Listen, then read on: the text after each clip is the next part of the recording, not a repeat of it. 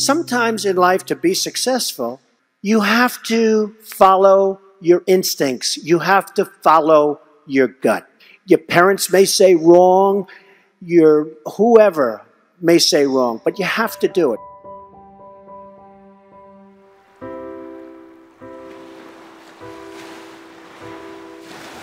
Most of your fears are bullshit. Get over yourself, do the thing that your heart is asking you to do, regardless of the external circumstances. Basically, regardless of what it looks like. You just fucking do it.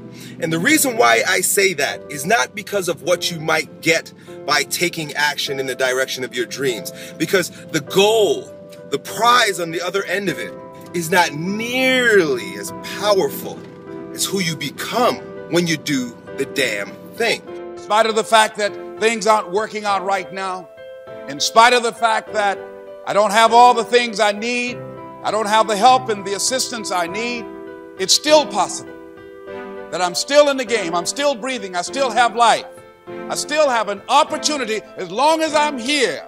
I've got an opportunity to pull it off. That no one has the right to count you out, to disregard your presence. No one has the right to do that. You don't have the right to do that. You can do it, but you should not do that. You want to give yourself a fighting chance. If you take yourself out of the ring, you never have a chance to know whether or not you could have made it happen. But if you could stay in there, and what can keep you in there? What can get you up off the canvas? As long as I'm in the ring, it's possible I can get one lick in that can make the difference.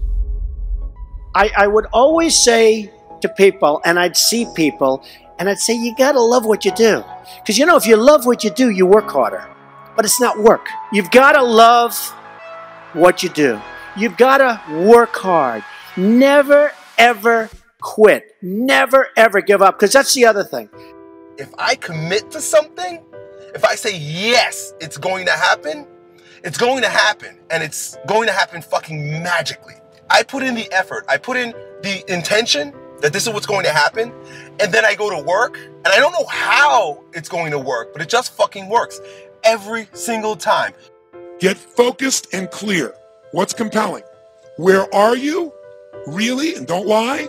Where do you want to be? And make it so compelling you can't help it. When you wake up in the morning, you want to transform this area of your life. So the quality of your life already is better just because you are so excited about what you're after.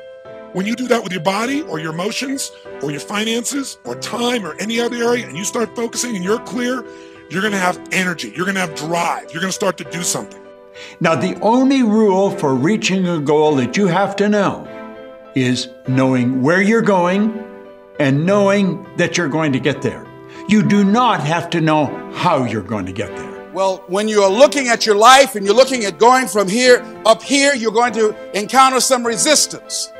So, part of what is necessary for you to begin to develop the consciousness that will enable you to tap into the power of creation in you as you concentrate, knowing that you've got this power, this stuff this specialness in you to overcome anything that you're involved in, anything that you have experienced, anything that you have gone through. Every chance you get, you remind yourself that you've got what is required in order to move your life forward. And every day, keep telling yourself and feeling inside yourself, yourself being strong enough and more than able and capable of coming back, of making this happen.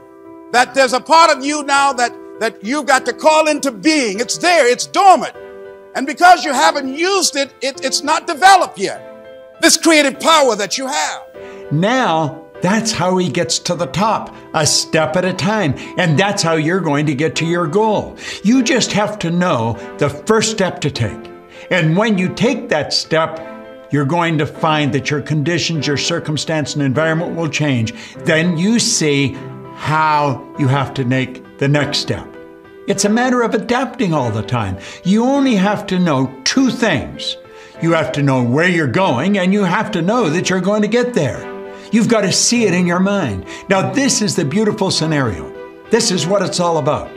Save that in your mind and think of it often. Think, every time you think of your goal and you're trying to figure out how you're going to do it, think of that vertical wall of ice. What's the next step? That's all you really have to know. One step at a time. What I want to invite you to do, what I want you to consider is that every single time you go and do something hard, because that's the other thing. A lot of people, their excuses are, it's, it's easier said than done. It's too hard, right? This is really basically what your, your story is. That's the story you've told yourself, that it's easier said than done. You know, it's, it's kind of hard to do that. Well, it's supposed to be fucking hard. I've seen people that are super genius, but they don't have that gut feeling. They don't have that stick to itiveness, that never quit. And I've seen people that almost made it and failed because they couldn't go that extra mile. They couldn't do it. So you get something, you never ever quit, never ever give up. Always have passion. You've got to have passion for your family, for your life, for your church, for whatever it is. You've got to have that passion.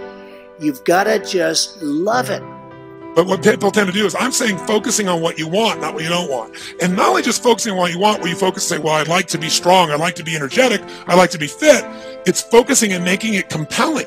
If your only reason you're focusing on it is like, well, I, I need to lose some weight because I feel fat, versus I want the energy to burn because with that I'll have more passion, more aliveness. I'll be able to impact my children. I'll be able to, you know, I'll be able to take the business to another level. I'll be able to have fun when I'm stressed out and tired. I'll have creativity flowing through me. You can't just focus on it. You got to create a clear and compelling future in that area that will pull you towards it so you're not trying to push yourself.